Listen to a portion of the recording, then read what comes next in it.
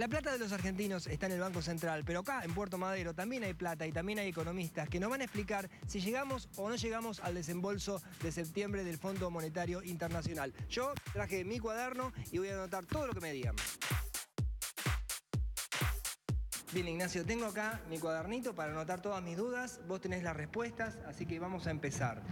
Eh, ¿Me puedes decir cuáles son las reservas brutas que tenemos los argentinos depositadas en el Banco Central? ¿A cuánto ascienden? Bueno, hoy están levemente por debajo de los 60 mil millones de dólares, pero hay que considerar que dentro de estas reservas en realidad se cuentan, por ejemplo, dólares que no son propios del Banco Central, ¿no? Por ejemplo, depósitos de los ahorristas o préstamos que se tomaron con otros bancos centrales o con organismos internacionales, con lo cual los dólares propios que tiene para usar el Banco Central están más cerca de los 13 mil millones de dólares actualmente. ¿Cuánto debemos? ¿Cuáles son, cuántos, cuántos millones de dólares tenemos comprometidos hasta que finalice el año los argentinos?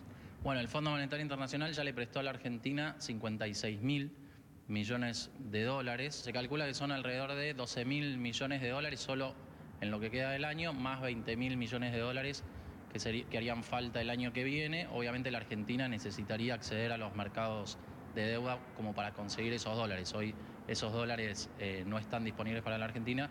Lo que siempre se creyó es que la Argentina en el 2020 iba a poder volver a los mercados internacionales a tomar los dólares prestados.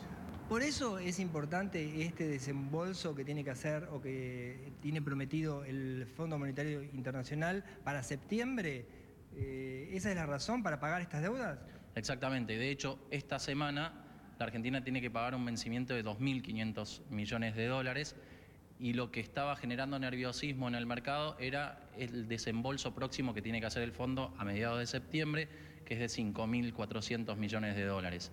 Si este desembolso está comprometido, entonces a la Argentina eh, le van a faltar estos dólares para pagar su vencimiento de deuda que tiene en el corto plazo y esto influye en las tasas de interés que tiene que pagar la Argentina justamente en la renovación de deuda que está haciendo en estos días.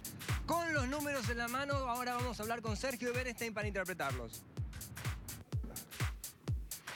Sergio, tengo los números que me dio Ignacio y acá sabemos que los argentinos tenemos casi 60 mil millones de dólares en el banco para pagar. Ahora, de esos dólares, ¿cuántos ¿cuánto podemos disponer? Más o menos de la mitad, un poquito menos de la mitad. Eh, ¿Cuánto es eh, lo que estamos esperando del fondo y eh, qué es lo que se necesita para acceder a ese dinero? Hay un desembolso inminente final de septiembre de 5.400 millones de dólares. No hace falta que vengan, hace falta que el fondo diga que van a venir. Ya con eso nos quedamos todos tranquilos. ¿no? Eh, ¿Por qué? Porque Argentina tiene problemas de caja.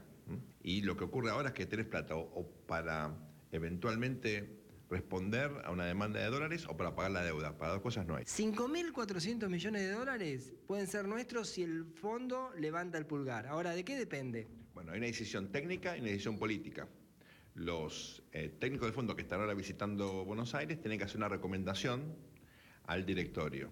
Hay una decisión política del directorio del fondo. Y esto requiere diplomacia. Y, diplomacia es también responsabilidad. ¿Y esto de parte de quién tiene que venir? Mira, es muy importante que las dos principales figuras de la política argentina hoy, que son el presidente Macri y Alberto Fernández, se pongan de acuerdo. Y esto es mucho pedir en un contexto electoral, porque los tienen que competir. Pero necesitamos que predominen aquellos aspectos ligados a la gobernabilidad, porque si la Argentina desbarranca, todos nos perjudicamos. Porque ayer habló Alberto Fernández y hoy parece ser que el presidente no está como para llamarlo de vuelta por teléfono. Entonces, ¿no está muy lejano ese panorama? Sí, pero lo que necesitamos. Si dejamos que los enojos, las calenturas eh, predominen, sonamos. Acá no hace falta ser muy frío, muy responsable y evitar el peor escenario, que es una salida caótica de esta situación. Entonces, ahora hace falta dar una señal de estabilidad política. Si predominan los espíritus confrontativos electorales, personales, cómo va a decir esto, sonamos. Esto hay que manejarlo con frialdad y responsabilidad patriótica.